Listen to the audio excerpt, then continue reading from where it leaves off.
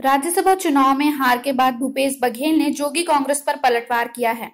सबसे अहम सवाल ये है कि जाति के प्रकरण माननीय उच्च न्यायालय ने 30 जनवरी को दिया।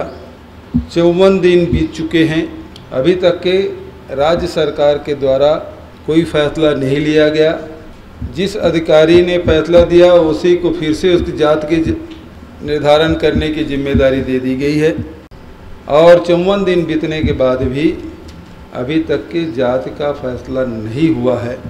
और यही सबसे बड़ा कारण है कि रमन सिंह जी को प्रसन्न करने के लिए इन माननीय तीनों सदस्यों ने मतदान नहीं किया।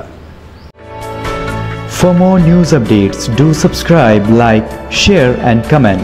Clipper 28